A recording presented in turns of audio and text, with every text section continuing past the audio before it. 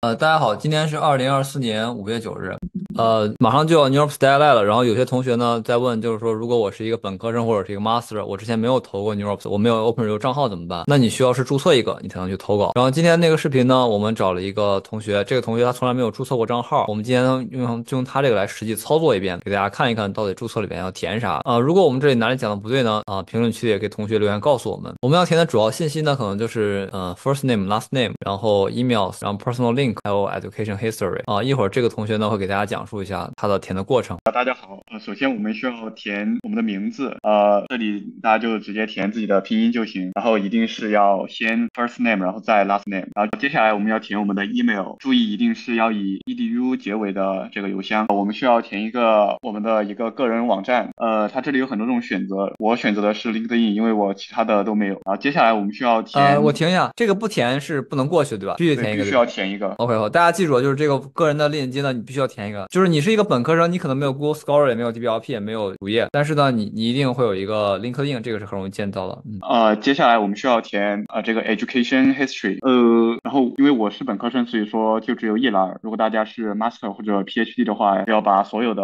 呃的这个经历过的学校和职位都写上去。好，然后现在就这个我看你不仅选了学校的名字，你还选了，你还写了学校的就是在哪个州，对吧？这两个就是填什么 Advisor 和什么 Other。relationship 或者 experts，就是一般来说，你如果是本科生或者刚开始做科研呢，其实这两个东西啊，然后你可以去问一下你的老师啊，或者你带你的高年级学长，这个主要是给那些就是比较 senior 的人或者一些 PhD 填的。呃，我们现在讲完了，这个同学已经完全填完了。我们接下来呢，连就是来就是说创建一下这个东西，对吧？那你点一下这个 register for open review，你来试一下，看看能不能注册成功。呃，成功。哎，好，大家看到了吗？他现在已经注册成功了。这个你注册成功之后呢，你能看到对吧？你是一个 active 的这个 New York 的 author，然后呢，你还能看到右边呢你的。名字，然后还看到很多 open for submission，还有很多 revenues，对吧？大概就是这样一个界面。OK，好，我们今天这个如何注册呢？应该就讲到这里啊。然后希望这个视频能能帮助大家，就是告诉大家如教会大家如何注册这个 open review account。最后祝大家 New York Tour 顺利啊！好，我我们今天这个就录到这儿了。好的，老师，谢谢你，嗯，拜拜。啊，不用谢，拜拜。